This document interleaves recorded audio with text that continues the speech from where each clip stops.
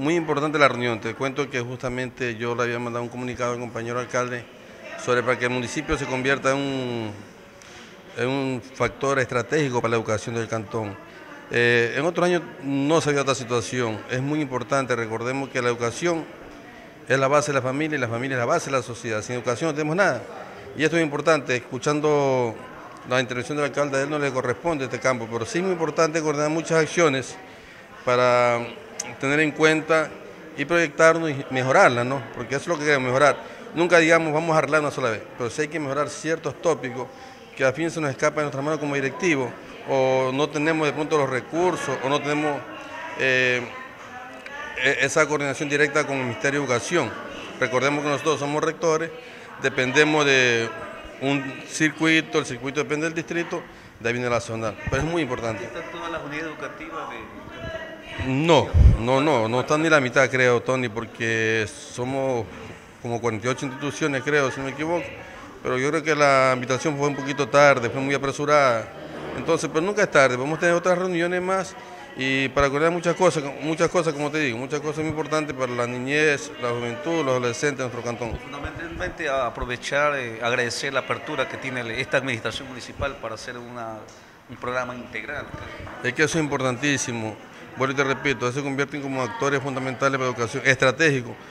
Eh, hace dos años tuvimos la visita de unas auditoras y siempre nos decían, bueno, ¿con qué, con qué este, entidades estratégicas cuentan ustedes? Mm, con nada, pero recién viendo esto, este, este encaminado del señor alcalde, creo que es muy importante, demasiado importante, recordándole, se trata de la niñez, los adolescentes y la juventud del cantón.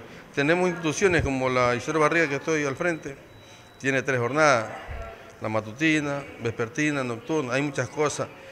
Queremos estabilidad para muchos compañeros profesores que no la tienen.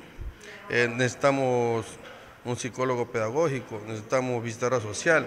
Ahora tenemos apenas una señora que cumple las tres funciones. Además de eso, están encadenando otras instituciones más. Es decir, necesitamos el recurso humano como son los psicólogos, para que también nos apoyen con los padres de familia y con toda la comunidad en lo que es la niñez y la adolescencia. A mi opinión me parece excelente, porque yo ya tengo algunos años trabajando dentro del cantón, desempeñando mis funciones de docente, y en realidad nunca se ha tomado en cuenta esta parte que es muy, muy excelente. O sea, para mí es lo mejor, porque educar a la niñez del cantón significa educar a muchas, a muchas, a muchas familias. Entonces, si llevamos de la mano la educación con lo que es el, gobierno, vamos a tener un excelente resultado y el progreso se va a ver porque se va a ver cambios.